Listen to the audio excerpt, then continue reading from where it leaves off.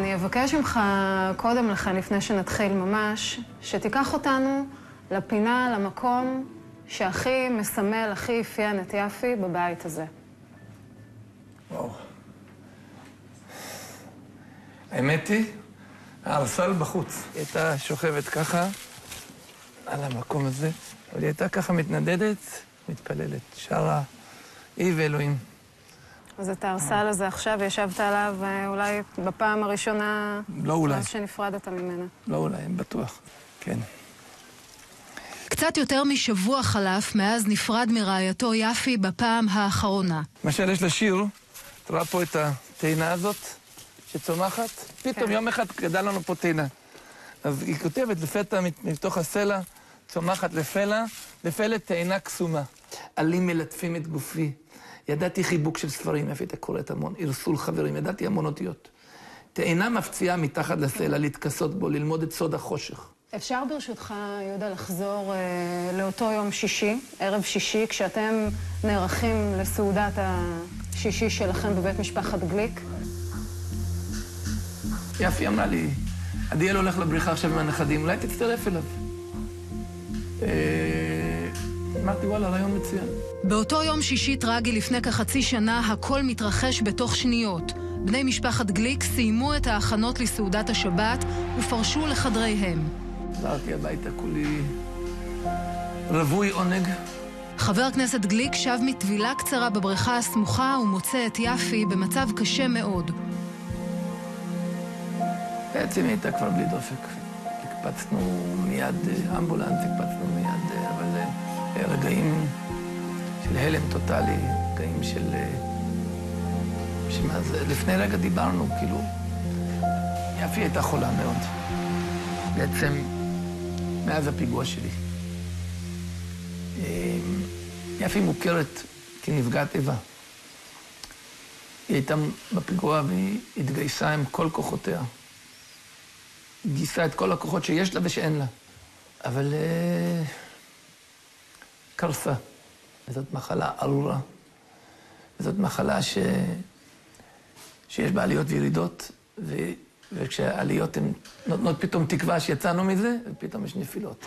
אנחנו חווים ניסים יום-יום ורואים עין בעין איך התפילות והכוחות מכל עם ישראל מגיעים אלינו. אני מודה לך מאוד אם בשלב הזה תמשיכו להתפלל ולשלוח כוחות מרחוק. מאז ניסיון ההתנקשות בו ב-2014, הוא מספר, התקשתה יפי לחזור לעצמה. המכות ניחתו בזו אחר זו. אביה נפטר, אסון פקד תינוק שטיפלה בו, דפנה מאיר והרב מיכי מרק, זכרם לברכה, שכניה וחבריה הקרובים, נרצחו בפיגועים. העצב והצער שחוותה באו לידי ביטוי בשיריה ובמראות שתיעדה. איך הכרת? איפה מתחיל סיפור האהבה ביניכם? הם שאלו אותי, מה אתה מחפש? אמרתי להם, תשמע, אני מחפש מישהי שחוותה משהו. היא הייתה אלמנה עם שני ילדים כשהתחתנו. דיברנו ודיברנו ודיברנו פשוט נונסטופ. ופשוט אה, אחרי שלושה שבועות כבר די מהר ידענו שזה, שהם מתאימים זה לזו. אה, למרות שכשאני חושב על זה, כמעט בכל נושא, בכל נושא, אנחנו רואים את הכל עין בעין הפוך. גם בנושאים הפוליטיים? נושאים פוליטיים לגמרי. לא היה לה פשוט, עם הרבה מאוד אה, פגישות שלי עם מוסלמים. בשבילה זה היה נשמע כאילו נפלתי מהירח. כשהתחתנו, הייתי נכה רגשית. יום אחד אמרת יהודה, אתה אוהב אותי? אמרתי לך, בטח אני אוהב אותך. תגידי, תגיד, אני אוהב אותך? אמרתי לך, אבל נדמה לי שבחורי ישיבה לא אומרים את זה. אמרתי לו, בחורי ישיבה אומרים את זה, תגיד, אני אוהב אותך. זו למעשה הייתה צוואתו של בעלה הראשון, שיפה תתחתן שוב. אהבה ממבט ראשון. בשנת 91 הם נישאו וגידלו שמונה ילדים. שניים מנישואיה הראשונים ושני ילדי אומנה הצטרפו בהמשך. אני רוצה לקחת אותך ליום שבו אתה נפרד ממנה בפעם האחרונה, למנוחת עולמים, ואתה בוודאי שומע אחרי כמה שעות על הסערה הגדולה שמתפתחת אה, בכנסת. נכנס לפה רב היישוב. תוך כדי הוא אומר לי, תשמע, אה, אריה דרעי שאל אותי מלכתית אם אתה יכול אולי לבוא, להצביע, שזו הצבעה נורא חשובה, עניין השבת. הוא אפילו אמר שזה יהיה קידוש השם, אתה תשב שבעה בכנסת. הסתכלתי לרב ראם, לא הייתי צריך אפילו, כאילו, כאילו היה ברור שזה לא, לא, לא, זה כל כך לא רלוונטי. מה אתה חושב על חוק המרכולים? לגופו של עניין. אני לא התלהבתי מהחוק הזה. אני חושב שזה חוק שאין לו שום משמעות. אתה בכל זאת אה, לא יכול להתעלם מהעובדה שאתה יושב במפלגה שבראשה עומד אה, ראש ממשלה שחשוד עכשיו אה, בפלילים מאוד חמורים, יחד עם יושב ראש הקואליציה לשעבר, דוד ביטן, שגם הוא מצוי בחקירות. איך אתה חש עם זה? איך אתה חי עם זה? במידה וחלילה, למשל, יתברר שהוא למען אינטרסים אישיים מכר את מדינת ישראל, פרשת הצוללות. אם חלילה יתברר שהוא לקח שוחד, הוא לא יכול להמשיך להיות אה, ראש ממשלה.